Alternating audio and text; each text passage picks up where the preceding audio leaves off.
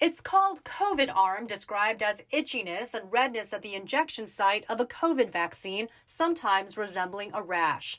The findings were published in the New England Journal of Medicine this month, showing less than 1% of more than 30,000 participants in a clinical trial for the Moderna vaccine experienced this. It was weird because everything was fine right after I got my vaccine.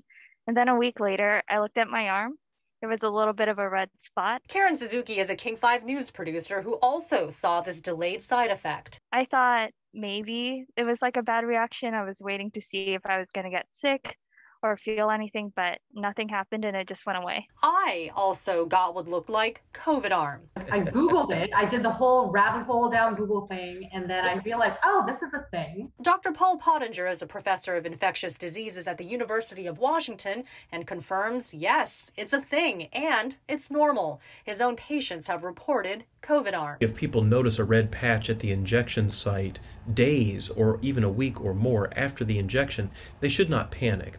Pottinger says this particular reaction shows up late because that's precisely what it is a delayed immune response to the vaccine. It's called a delayed type hypersensitivity response. It's something that we see in medicine. Uncommon, it can happen with Moderna or the Pfizer shot and should not stop people from getting their second dose. People should be reassured that if they're getting an mRNA vaccine made by either Pfizer or Moderna, and they have this COVID arm experience, they should go ahead and get that second shot, absolutely. In Seattle, Christine Pei, King 5 News.